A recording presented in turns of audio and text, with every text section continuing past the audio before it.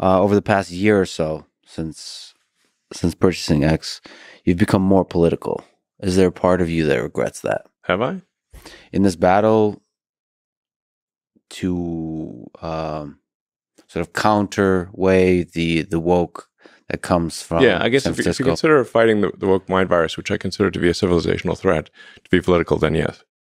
so basically going into the the battle, the battleground of politics.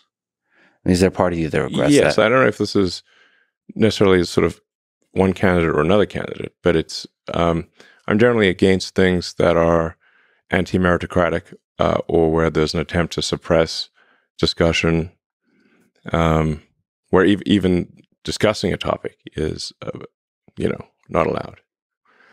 Um, the woke mind virus is communism rebranded.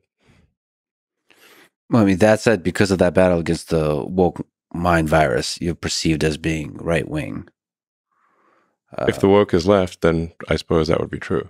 Um, but I'm not sure. I think there are aspects of the left that are that are good. I mean, if you're in favor of, you know, uh, the the environment, um, or, you know, if you want to have a positive future for humanity, if you believe in empathy for your fellow human beings, um, you know, being kind and not cruel, I, I, whatever those values are. You said that you were previously left or center left. What would what would you like to see in order Well, for you to sorta. voting for Democrats again? No, I, I would say that I would be um, probably left of center on social issues, probably a little bit right of center on economic issues. And that still holds true. Yes, but I think that's probably you know half the country is and that's Maybe more. maybe more.